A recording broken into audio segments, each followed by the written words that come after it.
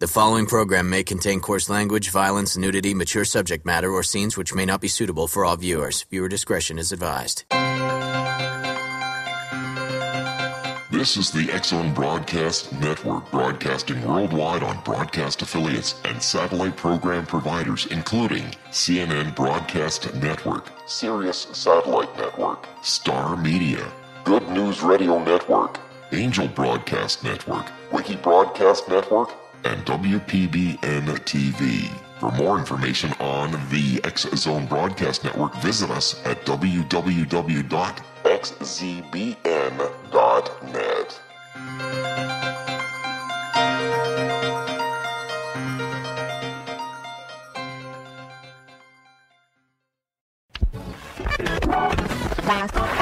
All Hit Radio.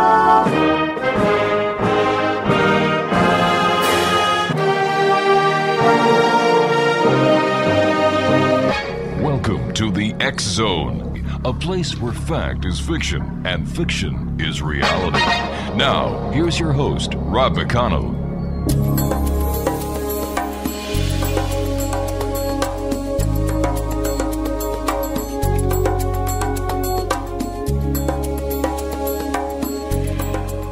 And welcome back to the X Zone, everyone. What a night it's been. Our first guest, we were talking about psychic phenomena, tarot cards. Last hour, we were talking about demons, exorcisms, and things that go wacko in the night. And uh, I, I figured out a new acronym for wacko or waco. We ain't coming out. That's what the demons are saying these days. And this hour, Mark McCandlish is my special guest. We've had the pleasure of having Mark on the show before. He's an internationally recognized artist who has specialized in aviation and conceptual art within the defense and aerospace industries for the better part of his last 30 years, serving the needs of many of the top American corporations in this regard. Mark's father was a 25 year veteran of the United States Air Force, and as a consequence, Mark had a lifelong love of aviation and aviation history.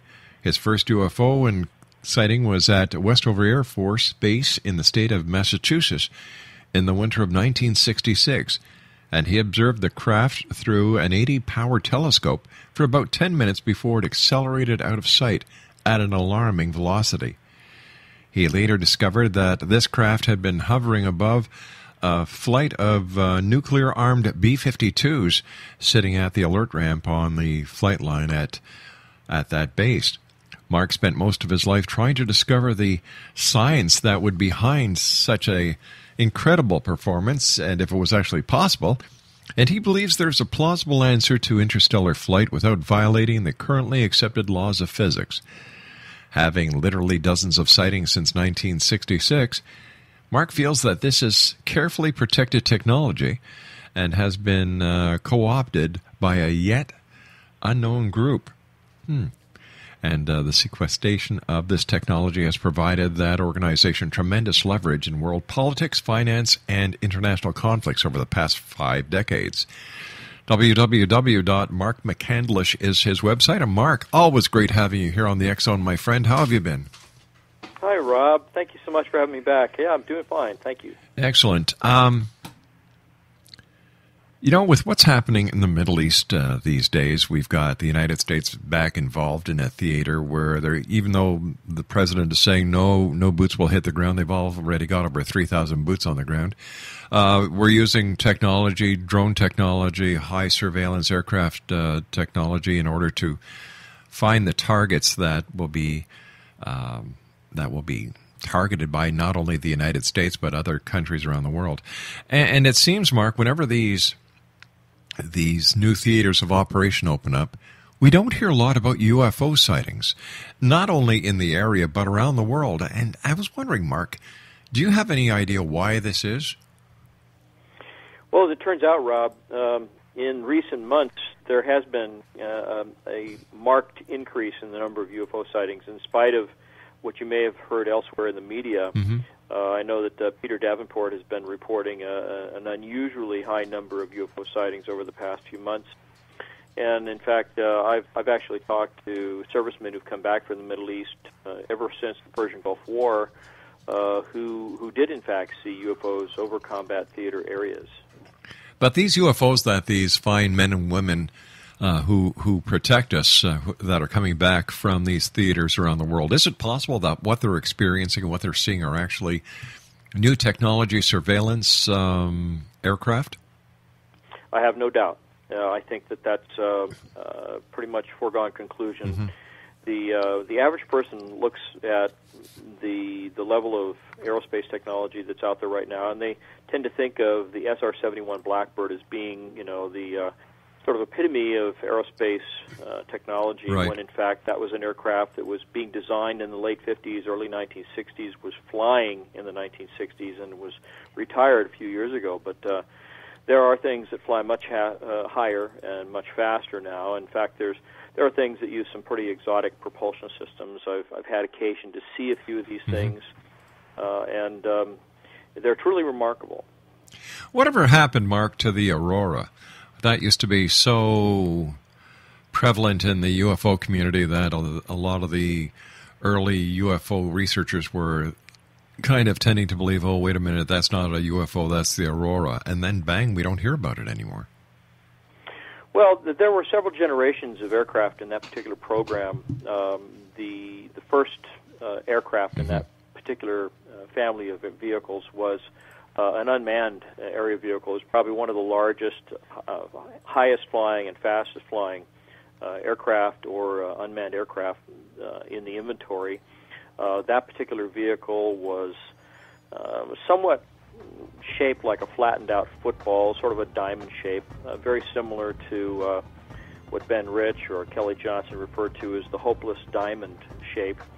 Uh, it uh, was entirely covered with space shuttle tiles, had 121 vertical launch tubes in its belly for wow. supporting different kinds of munitions uh, both uh, conventional weapons and nuclear warheads. Mark, we're going to have to do a bit uh, of a uh, cliffhanger here. I've got to take my uh, first break here. Mark okay. McCandlish is my special guest, a great friend of the X Zone. Www.markmccandlish.com. And Mark and I will be back on the other side of this break. Don't go away.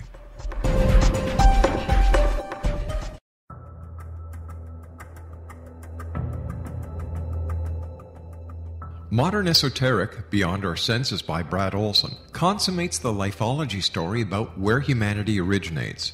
It is the lost continents, the primitive wisdom, the mythos of creation, and the rethinking of ancient history as we are taught in academia.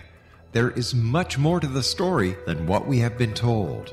As this is the first book in the Esoteric series, Modern Esoteric starts at the beginning of time and accelerates up to this modern age. Future Esoteric is book two in the series and takes a forward looking position ahead of today with an open and honest examination of the ET issue and various unexplained phenomena. To discover the writings of author Brad Olson, visit www.bradolson.com. That's www.bradolson.com.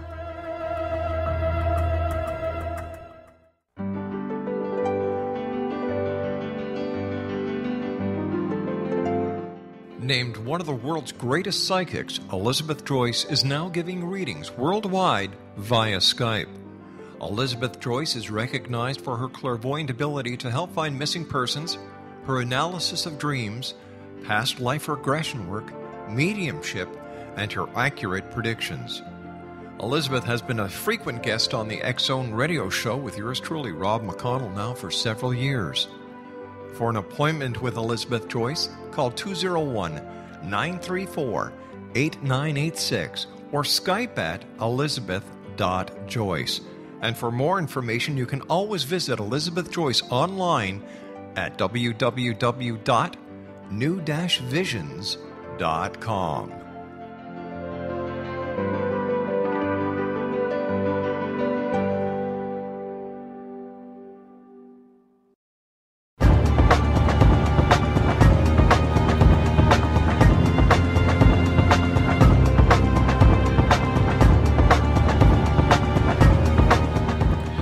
Mark McCandlish is my guest this hour. Exonation, www.markmccandlish.com. And uh, before we went to the commercial break, Mark, you and I were discussing the Aurora. And um, please uh, go on with that because I'm sure there's a lot of old guys like me who'd like to know what really happened. Well, that particular aircraft uh, was capable of uh, traveling at speeds up to Mach 17, which is roughly 12,000 miles per hour. Wow. Of course, that that depends to a large degree on the altitude and the air density at which you're flying. Uh, use some pretty exotic fuels, and there's there's been some uh, debate about whether it was a methane based or a slush, uh, partially solidified hydrogen type fuel. Um, but it, it had three different propulsion systems. Uh, one that would allow it to take off and land uh, from an airfield um, with engines very similar to the uh, the high bi- bypass turbojet engines that were used in the SR-71. Uh, but then it had an external uh, propulsion system that was an awful lot like what is called a linear aerospike engine. And what this really uh, was constructed out of was a, a, a slight ridge that ran laterally across both the dorsal and ventral surfaces. Had a series of what looked like fuel injectors pointing outward. And once it got up to a particular velocity, fuel would be sprayed intermittently into the airstream right at that the trailing edge of the ridge, and it would basically combust and expand between the supersonic shock wave that separated from the surface of the vehicle at that point and the tapered afterbody. So it more or less pinched the afterbody, mm-hmm. uh, driving it forward.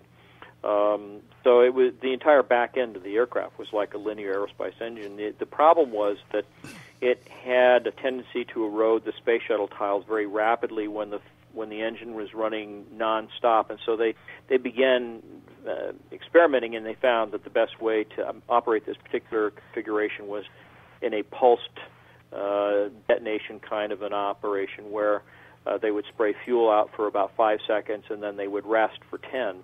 So once it got up to speed, it was basically pulsing on and, and turning off, and, and for this reason, it was nicknamed the Pulsar, uh, the, the Aurora Pulsar.